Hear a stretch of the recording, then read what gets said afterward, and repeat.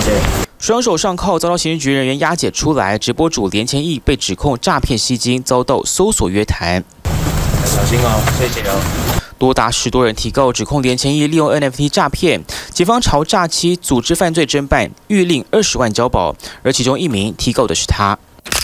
另一名直播主迷你蝶就曾在脸书 po 文，惊呼钱都不见了，附上截图，其中一张显示余额是零，另一张则显示 NFT 已被下架且无法交易。事后也决定报警处理。我一开始是高二哦，高二先发影片来哦找我们嘛。虽然连千一在脸书公告是系统问题，工作人员已经向系统申诉，但这回刑事局调查发现，他声称用 NFT 可兑换的商品，iPhone 十三是展示用的塑胶模型机，钻石则是大陆的山寨人工钻石，手表也是贴牌假货，初判价值才几百块。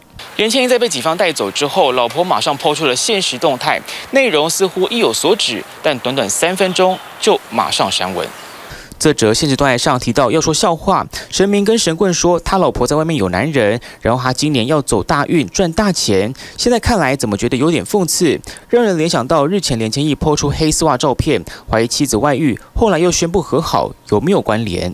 转接语音信箱，嘟声后开始计费。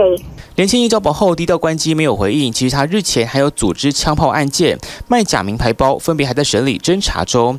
现在又声称 NFT 诈骗，真的是官司缠身。TVB 新闻讲没有关系，新闻是报道，请支持 TVBS 国际 Plus 全新频道，让您扩大视野，掌握趋势，接轨全世界。恳请订阅，开启小铃铛。